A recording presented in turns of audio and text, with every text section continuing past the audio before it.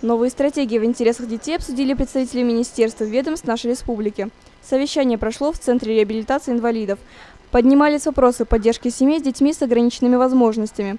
Профильная комиссия общественной палаты работает уже третий год. Программа рассчитана до 2017 года.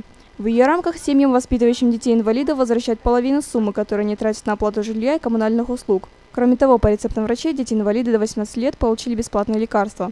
Сейчас одна из главных задач заинтересованных структур – наладить взаимодействие и работать сообща. Вопросы детства всегда в приоритете у любого государства.